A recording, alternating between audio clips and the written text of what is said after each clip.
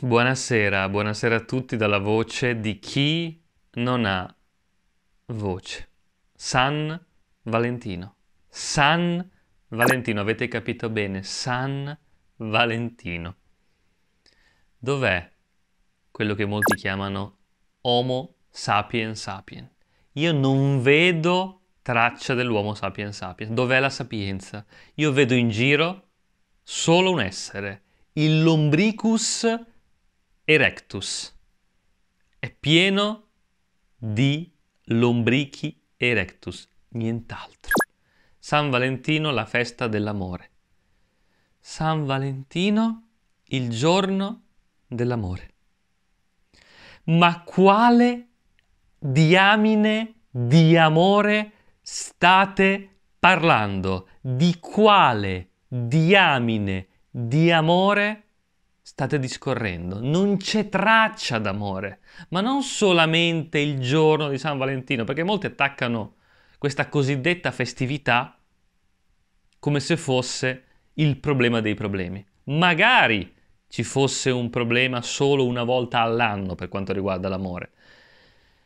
Il giorno di San Valentino è la festa degli idioti, questo è conclamato ma nei restanti 364 giorni non c'è traccia d'amore nemmeno lì, perché per amare occorre essere persone, ok? Voi mi dovete spiegare una cosa, dove vedete le persone? Dove è la persona? Non ci sono persone, ci sono automi, lombrichi, caccole parlanti, termosifoni ambulanti non ci sono persone, non ci sono esseri umani. E se tu non sei una persona, allora non puoi amare. Non ha senso istituire una festività, una festa, una giornata dedicata all'amore quando di amore non ce n'è traccia. Ed è fattuale questo, non c'è traccia di amore, ma non c'è traccia nemmeno di chi sappia cosa voglia dire amare, ma nemmeno di striscio. La concezione media d'amore è talmente vomitevole, ripeto, la concezione media d'amore è talmente vomitevole che se io domani, uscendo di casa, calpestassi sterco di mucca e scivolassi e cadendo sbattessi la faccia su sterco di cavallo, quello sarebbe più dolce, più nobile, che valoroso che quello che voi definite amore. La vostra concezione d'amore non solo è lontanissima da una visione decente d'amore, è il suo opposto. Siete degli egoisti, degli egoinomani. Siete squallidi, miseri. Mi fate pena. Mi fate accapponare la pelle.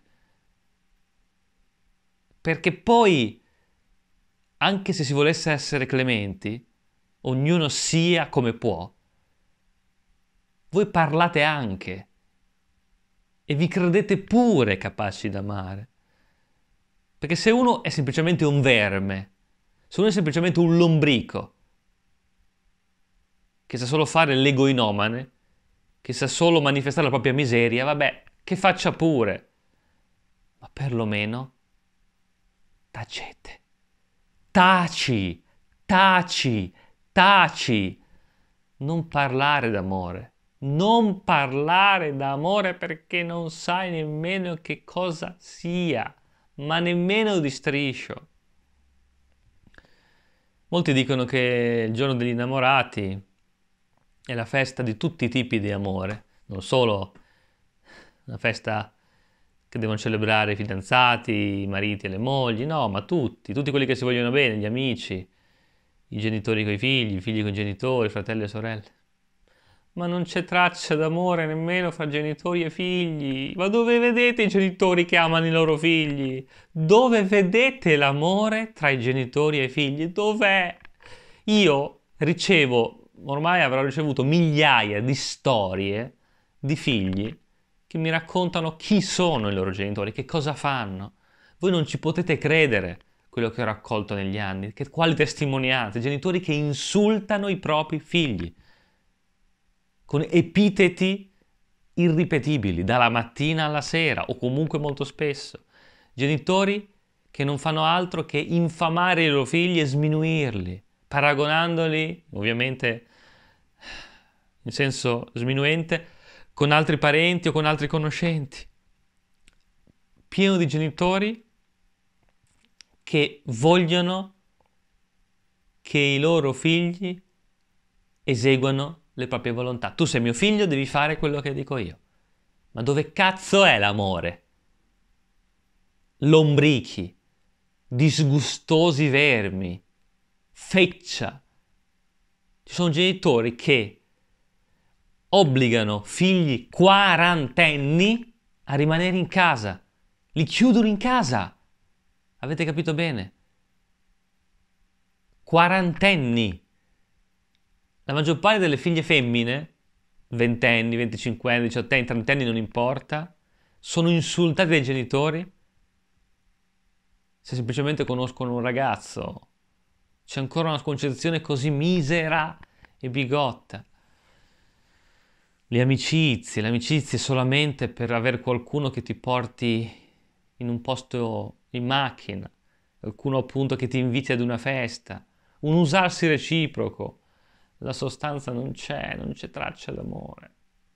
I fidanzamenti e i matrimoni poi, mamma mia. Quello che mi fa imbestialire, no?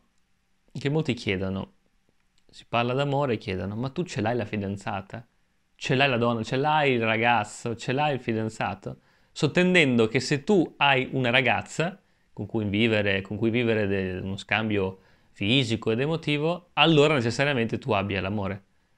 Ma guardate che avere una ragazza, avere un ragazzo, avere dei cosiddetti amici, non significa necessariamente vivere e dare amore. Avere una ragazza, avere un ragazzo significa che c'è una persona nella tua vita, uno o più persone, con cui vivi dei momenti. Ma non è che di per sé quello è l'amore. C'è la ragazza, quindi hai l'amore. Infatti i single, i cosiddetti single, il giorno di San Valentino, o anche altri giorni, si sentono sfortunati in quanto non hanno una ragazza e quindi non hanno l'amore. Ah, perché secondo voi tutti quelli che hanno un partner o sono sposati allora hanno l'amore.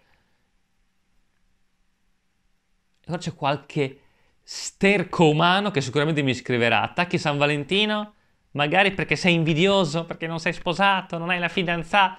Porca di quella santissima misericordia. Uh, ma veramente, ma veramente secondo voi io invidio gli infelici? Invidio le capre ignoranti? Ma non perché ci sia qualcosa di male nell'avere una fidanzata, ma non è, io, il mio non è un attacco ad avere una fidanzata, non c'è niente di male di per sé. Critico il fatto che si ritiene che avere una fidanzata o un fidanzato sia segno di avere l'amore nella propria vita. Che cosa dite? La cosa che mi fa incazzare è che qualcuno mi, mi rivolgerà questa critica, eh, sei invidiosa, bla bla bla, quando certamente esistono quelli che attaccano San Valentino per invidia, ma non sono io, è pieno di gente, ne ho già lette le bacheche di Facebook, di gente frustrata perché non ha la ragazza e per frustrazione, per odio, per invidia, allora si attacca San Valentino. Bene, con quella feccia lì non c'entro niente io. Anzi, sono il primo ad attaccare quel tipo di mentalità lì. che schifo, Dio santo.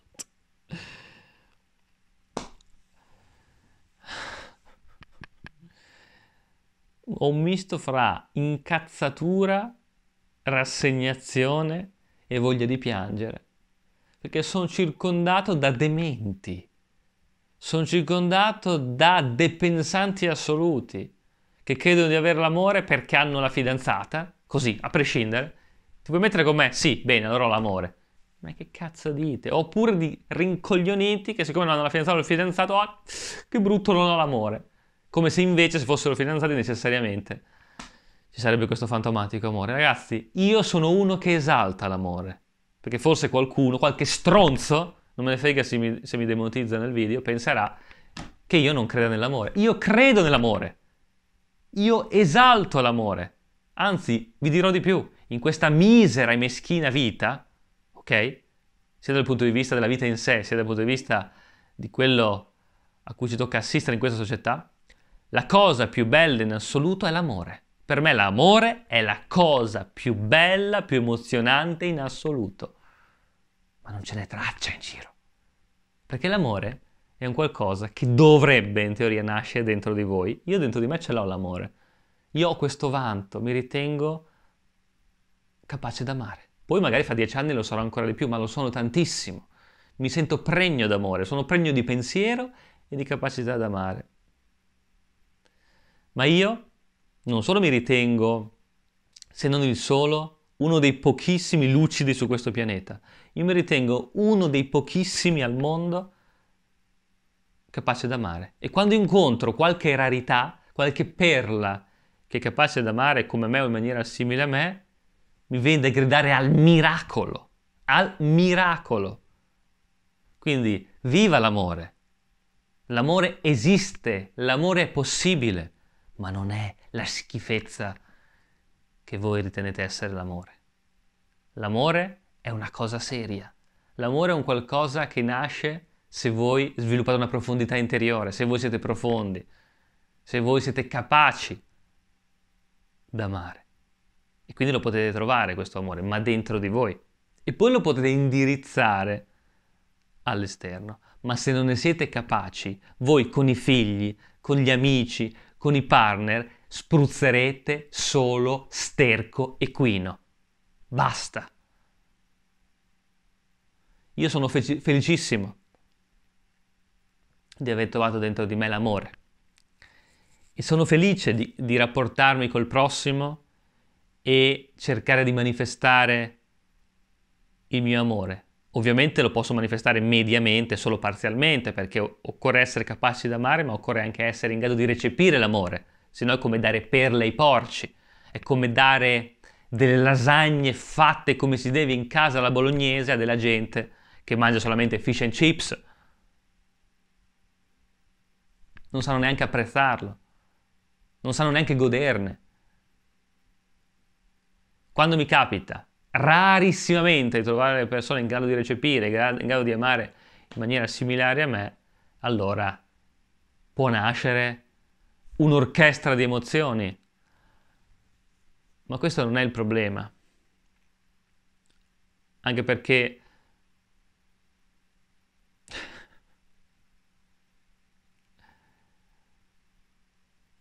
Dio santo. C'è gente che sta a lamentarsi perché non trova la ragazza pensando che in questo modo non sia possibile vivere l'amore. Voi anche se tro- trovaste la ragazza o il ragazzo non, non vivreste nessun amore perché in primis dovete trovarlo dentro di voi. Vi dirò, vi dirò di più. Se voi, con una persona per esempio, che dite che vi piace. Non stareste mai un mese di fila, tu e lei, lei e tu, in una stanza a guardarvi negli occhi, solamente ad abbracciarvi, a baciarvi, a toccarvi, a vivere l'eros e basta, senza fare nient'altro, magari qualche provvista di cibo in scatola per uh, un po' di carburante, un bagno per andare a fare la pipì. Ecco, se voi non, non, non stareste con gioia a vivere un mese di fila così, non potete nemmeno, non solo parlare d'amore, ma non dovreste nemmeno parlare mai, non siete degni neanche di essere chiamate persone. Ah, ma è noioso stare un mese a guardarsi negli occhi, è noioso. Se tu pensi che sia noioso, sei semplicemente un pirla. Sei il solito pirla che non è in grado di stare da solo con se stesso, deve per forza fare, strafare, correre di qua e di là, quando è da solo e quando si relaziona col, col, con l'altro, ovviamente anche in quel caso, eh, ma ci si annoia al massimo un'ora, due ore, poi bisogna divertirsi, bisogna andare là, bisogna fare, strafare, una ragazza vuole che la porti nel locale, vuole vedere il mio macchinone, ma per carità vivete come vi pare, correte, andate a fare festa, viaggiate, mostrate i Ferrari, fate quello che vi pare, non sono qui a dirvi come dovete vivere, ma non chiamate, non chiamate amore. Non, non, non nominatelo nemmeno l'amore, perché voi non siete in grado di amare voi stessi e non siete in grado di conseguenza di amare nessuno. Siete in grado solo di fare i coglioni parlanti. Esistono i grilli parlanti, che sono i saggi che cercano di consigliare come me e poi ci sono i coglioni parlanti che sono il restante 99% degli individui, maschi o femmine che siano. Quindi questo mio video non è un attacco al giorno di San Valentino. Non ci può essere un giorno dedicato all'amore perché di amore non ce n'è in giro. Né nelle famiglie, quelle che Salvini e la Meloni elogiano, mamma e papà, né nelle amicizie medie e neanche nei rapporti chiamati amorosi. Non c'è traccia d'amore. Siete disgustosamente vuoti e un'umanità vuota non può né pensare né amare. E io parlo perché? Perché sono in grado di amare. Perché sono in grado di amare? Innanzitutto perché ho fatto un percorso che mi ha permesso di crescere sia in termini di consapevolezza che di capacità di amare. E sicuramente ho avuto abbastanza facilità in questo senso. Perché? Perché io, a proposito di famiglia, faccio parte di, di quelle rare famiglie, e per famiglia io intendo io, mia mamma e mia sorella, in cui l'amore c'è e c'è stato. Quindi mia madre è una delle poche madri che è stata in grado ed è in grado di amarmi. Questo non significa che non possa aver mai sbagliato nulla, che noi non, non, non litighiamo o non abbiamo mai litigato, assolutamente sì, ma mia madre è una madre eccezionale e dandomi prova del suo amore, della sua capacità di farmi sentire apprezzato, ha permesso che io mi sentissi valido e quindi sono partito avvantaggiato rispetto a tanti altri. Però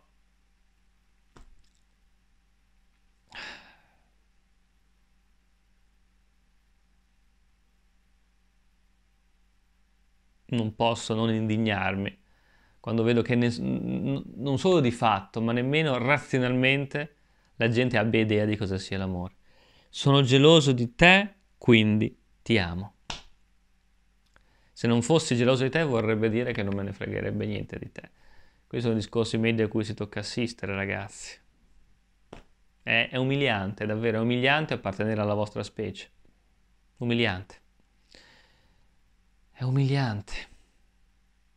Genitori che non fanno altro che ripetere ai propri figli tutto quello che faccio per te, tutto quello che ho fatto per te e non hanno mai fatto un cazzo. E io lo dico perché avendo avuto invece una madre che è stata validissima, posso fare facilmente i paragoni. Vedo mia madre come è, come è sempre stata, vedo le madri altrui e mi viene da vomitare.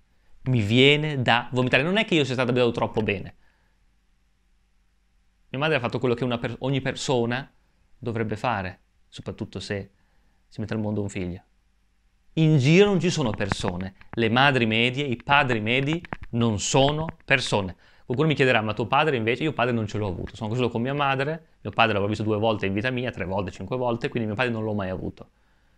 Ma, nonostante non abbia mai avuto un rapporto con lui, io non cambierei il mio non padre con nessun padre medio al mondo. Perché ci sono tanti padri che di fatto, in teoria almeno, hanno fatto i padri, ma non sono stati in grado di dare niente. Quindi molti di voi il padre l'hanno avuto o ce l'hanno, non c'è nessuna differenza fra voi che il padre l'avete avuto e io che non ce l'ho avuto. Niente in entrambi i casi. Allora forse è meglio non avere un padre piuttosto che averlo, ma in realtà non averlo. È uguale, la stessa cosa. Un po' come quando si dice mi sento solo in due. Meglio sentirsi solo da solo o solo in due. Voi avete un padre, ma è come non averla. Avete una madre, ma è come non averla. Io un padre non ce l'ho avuto, ma ho avuto una madre ed ho una madre. e molti di voi probabilmente abituati agli errori non comprendono nemmeno cosa, vu- cosa vuole dire avere una madre decente. E danno per scontato che quelle robe lì a cui si è abituati siano normali, ma davvero, ma vi giuro, vi giuro, ci sono dei genitori che sputano in faccia, ma, ma fisicamente parlando ai propri figli, sputano in faccia sputano in faccia. Non sto scherzando. Genitori, eh? Genitori che sputano in faccia ai loro figli. Dodicenni, quindicenni, sedicenni. E stiamo parlando di amore. Dove c'è l'amore? è un mondo di malati, è un mondo di psicopatici assoluti gravi e apoteosi del, del, del delirio, del disgusto, e che questa roba qui viene considerata normale. Ci si è abituati allo schifo e lo si reputa normale. Io guardate ragazzi, vi saluto. Ho già parlato fin troppo. Non so più che dire se non uh, di vergognarvi. Davvero. Vergognatevi. Ve lo dico con il massimo rispetto e la massima tolleranza. Fate schifo. Se ti piace il mio canale e vuoi che continui per sempre a fare video, puoi sostenermi aderendo al mio Patreon con donazioni a partire da un euro al mese. Per farlo è semplicissimo, basta aprire la mia pagina Patreon, cliccare in alto a destra su Become a Patron, attendere pochi istanti e scegliere se donarmi 1, 2, 5, 10, 20 o 50 euro al mese. Il gruppo WhatsApp degli eroi e delle eroine e altri contenuti esclusivi ti aspettano. Per aderire o per saperne di più, trovi il link in sovraimpressione, nel primo commento o nei titoli di coda.